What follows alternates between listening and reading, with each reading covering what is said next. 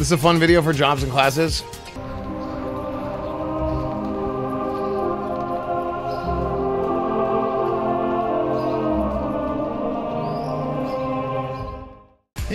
Fantasy XIV, you've got a bunch of jobs to choose from, and I've already made a video talking about that. Problem is, now everything is completely different. So here I am again with all of the Welcome to Shadowbringers MMOs. jobs to help you pick what you want to play. You've got your tanks, including one new guy. They're the ones fearlessly charging headfirst into danger's way. And luckily, Shadowbringers made that even more straightforward. Simply turn your tank stance on on, and you are now tanking. Turn it off, and you aren't. Wow. Speaking of danger, these are the healers. Always be And nice fruit. to them. You don't want to know Very what long. happens when they get angry. Oh, thank you. No, that's not what I meant. Shadowbringers gave the healers a super special power big heal mode. The melee DPS are here to cry about mechanics that keep them away from the boss. So, in Shadowbringers, they gave the melee 2 free I don't need positional anymore buttons. But they still complain. And these are the casters. They go big shooty boom boom magic. What did they get in Shadowbringers? More big shooty boom booms. The ranged can run around without any loss of DPS, and they've got a new friend who everybody loves. Except the other ranged. Anyway, let's go look at the jobs. Dark Knight. It uses a big ass sword. Play this job if you want to use a big ass sword. It's got a special stance you got to keep up, obviously called the dark side. You keep this up by using Edge of Shadow and Flood of Shadow, of course. And you can even reach inside your soul and take out your inner darkness, and he can fight along with you. And it's got a special mode Delirium where you can spam heavy hitting attacks like Blood Spiller or Quietus, which otherwise would cost Blood Gauge. Yeah, it's got a blood gauge. For mitigation, it has the Blackest Night, which is a shield you put on yourself and lets you use a blood gauge ability for free if it breaks. And its invincibility is called Living Dead, which you activate it first and then you have to die. Once you die, then you're walking dead and you're actually kind of not dead but somebody has to heal you up to full, otherwise you really do die. Gunbreaker. These guys were the personal guards of Queen Gunhilda herself. Who is that? I don't know. Gunbreaker is what you would get if you wanted to play a tank, but you also were like, I, I really like DPS. It's got a three-part combo, but it actually has a separate three-part combo inside of another three-part combo. It it, it kind of makes sense. It has a powder gauge with cartridges in it. The regular combo will earn you cartridges, and then you can spend the cartridges in order to do the special 1 2 3 combo. So it's very clicky. It's a very clicky fun job. Its invincibility is called Superbolide. Basically, you Am I gonna get carpal tunnel playing this one?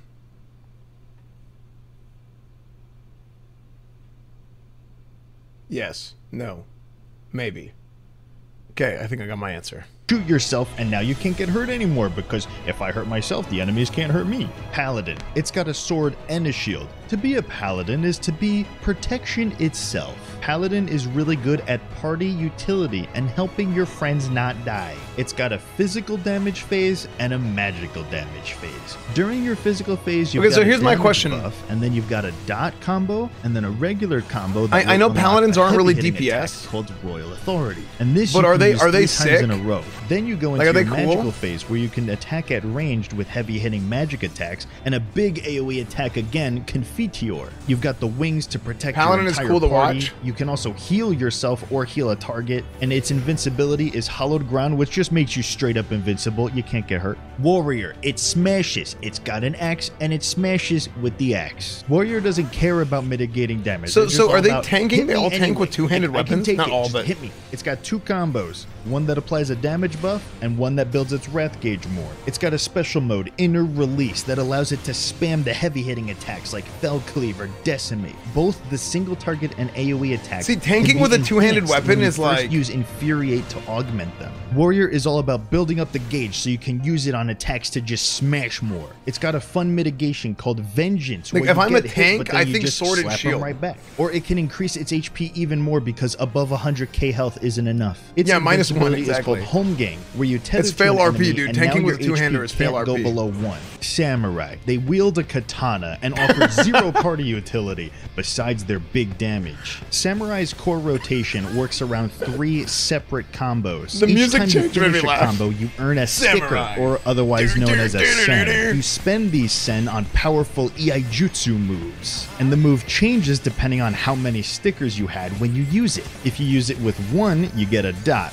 With two, you get an AoE attack in front of you, and with three, you get a heavy hitting single target attack. It also has another resource called Kenki that you build up and you use on heavy hitting attacks. You notice a lot of these are heavy hitting attacks. It's because all of Samurai's attacks do it. Shadowbringers gave Samurai even more big attacks, like Shoha, an attack. Wait, so is only tank or DPS? Gather up three meditate stacks. It also has two separate AoE combos and overall flows Oh, very a well from okay. one combo to the next, building up your resources and spending them. Monk. These guys are all about throwing away the weapons, and instead, your body is the weapon. Monk has two combos. Sounds straightforward? It is. Dude, but Jesse each the one Body of those Ventura. has a positional requirement. Every single one. All the other melees only have a handful of positionals. Monk takes that and says, "I want Oh, all of them." positionals. Shadowbringers also gave Monk a fourth. I think Grease Lightning positionals are stack, so which makes them attack even faster and harder than before. Dark Age of It Camelot had like all resource positional called stuff. chakra that it can use on a single target attack or a ranged attack, and other buffs that mostly work around its two separate combos. I bet it does makes Monk really hard to damage, play, but though, still right? offers some party utility with a physical damage buff to the party.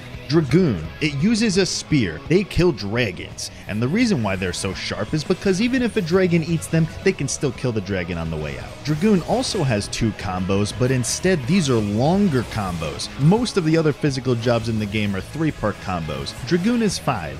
It's a very static rotation that you're going to do one combo and then the other combo, and you're always going to stick to that. But it has a whole lot of off global cooldowns that you're going to use Wait, Dragoon between is them cool? to keep it interesting. It centers around keeping up a buff called Blood of the Dragon. However, when you collect two eyes of the dragon and you activate Gare Two eyes, white you white unlock dragon. Life of the Blue Dragon, eyes, white where dragon. you glow red instead, and you unlock even more powerful heavy-hitting attacks, including Star Diver. It's got a bunch of different jump attacks that range from jumping to the opponent and back to where you were, or jumping over to the opponent. Wait, I kinda wanna play Dragoon. Or off the edge.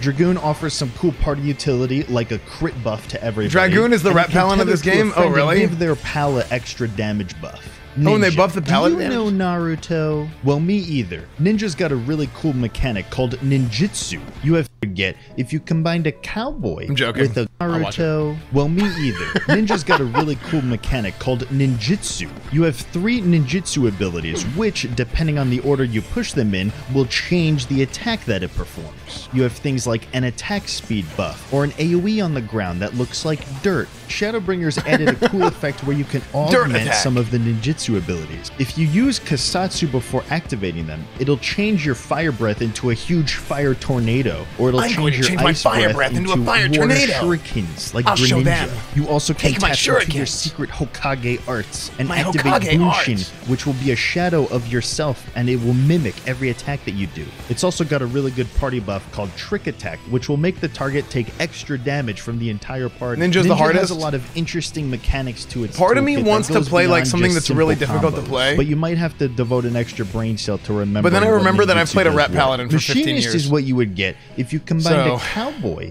with a Gundam with a Terminator. This is the ranged with the highest damage and the one with the least amount of RNG in the rotation. And I don't really have to say any more about it because you can summon a freaking mech. And Wait, while what? you're doing all of your attacks, you're overheating. You go into your overheat gauge. Gundam you're Wing? spamming your cool abilities that give you your My girlfriend cooldowns wants back. you and to you're watch hitting this video. buttons It's a like really good freaking video madman, that and your, your showcases mech is the over there class's punching ultimate shit. abilities. Oh, and you have a flamethrower. Need I Thanks, say Des. more? Thank you for the really? I mean, $5, for dude. AOE, I you might got some watch other it. cool stuff like overheat will now Possibly. actually be a crossbow instead. You got a drill that you shoot out like a Giga Drill breaker. Okay, and you Kona have a class. special button that makes it guarantee it crits. All of your regular combo is now superheated mode always. This job is all about balancing your battery gauge and your heat gauges to use all of your cool special boom explodey powers. Bard, this is the job with the bow and arrow. Every MMO has one. This is ours. But not only can you shoot arrows, you can Except also for sing WoW. WoW songs doesn't and help bard. your party members do things. And its rotation Dude, is bards in, the Dark Age of Camelot a were badass. with an RNG rotation. It cycles healers, through but they were three different badass. song modes, and each song has a different effect on your rotation. Mostly, you're keeping your dots up and spamming burst shot for procs on refulgent arrow. You've also got a new gauge called the soul gauge, which is used on apex arrow, and it does more damage the higher the gauge. Apex, is. For poggers. utility, you've got stuff like a heal buff or damage buff or remove a bad thing on somebody, and of course a party damage reduction. Dancer. This is the new guy. It uses chakrams that it throws around and kills its enemies with belly dancing. It has the lowest personal DPS, but it can super buff its dance part.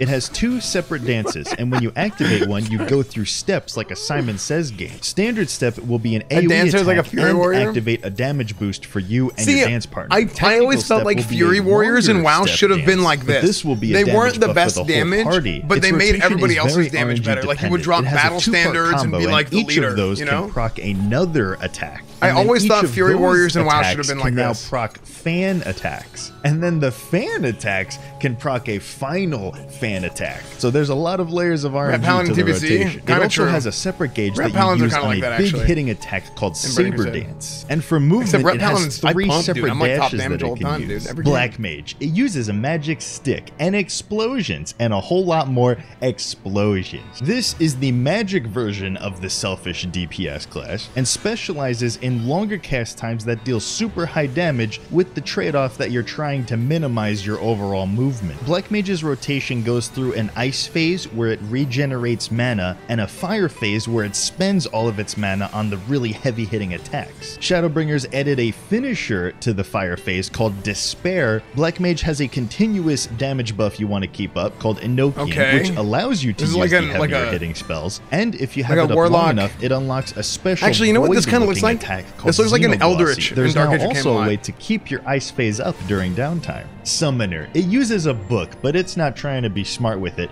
it it's mostly picture books. Summoner is our pet DPS job. There's Ifrit for single target, Garuda for Summoner's AoE, with Warlock. and Titan for eh. Summoner's rotation works on a two minute cycle of various phases that you go through. There's Dreadworm Trance, where you invoke Bahamut's Aether and you unleash it in a big Death Flare attack. After this, you're able to summon Bahamut and command him to do big Akh Morn attacks. Wait, is And it after him, Bahamut or Bahamut? Phoenix to do special fire moves Phoenix. Heal the party while it's out. Also, two of your spells become super. I used to pronounce Phoenix Phoenix instead. 'cause I didn't know how to Summoner is it. also one of two jobs that can raise dead party members, though you either have to hard cast it or save your swift cast for it. Red Mage. It uses a sword with a focus thing attached to it. This is the job that Dude, combines Moltres. black magic and white magic together in order to do magic casting while also doing physical damage as well. Red Mage is special because every other spell that it casts RDM is is OP. with Dude, the forward cast RDMing, minus so you one. will hard cast the shorter spells and then instant cast the longer ones. You'll do this while alternating building your white and black mana, and once you have enough, you can go in for the melee combo, finishing it off with either a Ver Holy or Ver Flare big attack, and then another final big attack called Okay, Scorch. so- so a red mage is like a- AoE rotation using Ver Thunder and Ver Arrow too, and then instant casting Impact.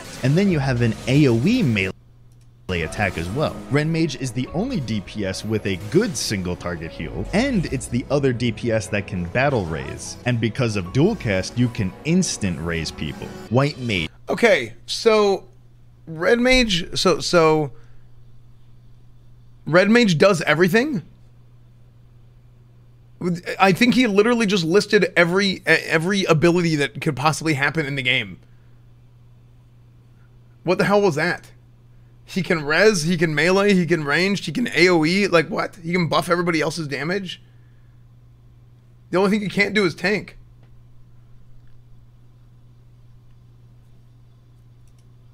The DPS isn't that high though. Okay, that's good. I, I like that. Like like he like buffs everybody else's damage and that kind of. Oh, he doesn't buff everybody else's damage. Maybe I miss. Maybe I misread. Just use DPS.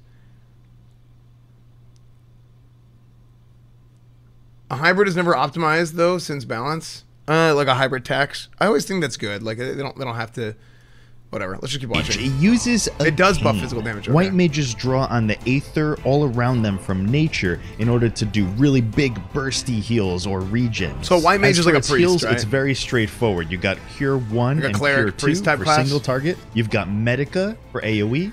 Medica 2 for an AoE regen, and Cure 3 for a big AoE heal but very close around you. In Shadowbringers, they added some instant abilities that use up lilies from the lily gauge. And when you use up three Lilies? lilies, it unlocks Afflatus Misery, which is a huge AoE damage nuke. White Mage's oh shit ability is the wings. You you sprout Wings! beautiful wings from your back, and now everybody around you takes less damage, and all of your healing is super mode. Scholar. They use a book because they're so smart, and they want everybody else to know how smart they are. Scholar specializes in shielding the party from all the damage in the first place, and it is the pet healer that we have in this game. For single target heals, you got Physic, a small single heal. You also have Adlo, which DPS is a heal list? plus a shield super on a single in, target, and you have Succor like, for an AoE heal plus a shield. And I just play whatever I like to abilities play. that can manipulate the shields. Emergency Thank you, tactics will change the shield into a heal. Recitation will guarantee that it crits so you can have a big shield. And deployment tactics will spread the shield to nearby party members. Chain Stratagem is Scholar's utility. It will raise the critical hit rate on the enemy for everybody. Scholar's other resource, Aetherflow, can be used on certain abilities, like an instant single target heal, a party AoE heal, and a placeable shield that reduces damage taken and heals the party. Scholar's super move is an upgraded fairy. Tier lists are irrelevant in this game. I think tier lists are irrelevant regular like, fairy game, and AoE shields. be honest. Or you could just eat your fairy and get a whole bunch of Aetherflow to spend.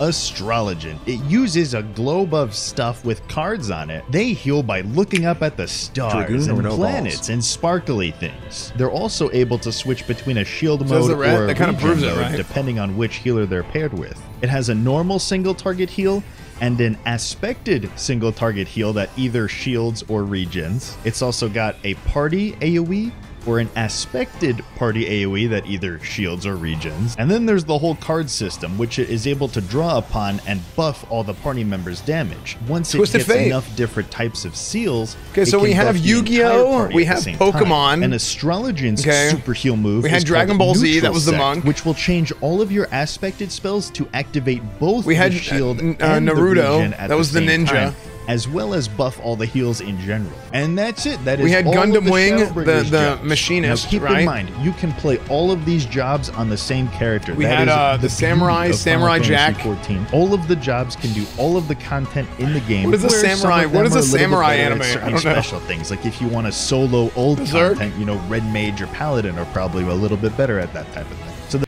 So the best advice is just pick which one looks really cool to you, and you'll be more motivated to get good at it. So this video will be good for a little while until the next expansion comes out and completely changes it all over again. Okay, bye. nice. Guys, is this it? Yes. Okay. Yes. Okay. Okay. Um. So here's here's how I feel after watching that video. Um. 14 is well balanced. and is yeah. See, I I- I feel very strongly about this. Even in even in WoW, like classic WoW, like I, I'm I'm super not about the whole like, oh you have to go with this group or you can't bring this class, or you can't bring that or yeah. I think it's I think it's all like horse crap. Honestly, like uh, I, I feel really really strongly about that. Like I've cleared all the content in the game as, as a class that everybody thinks is like the worst. You know what I Paladin, mean? please watch this. It's very short and funny with good info.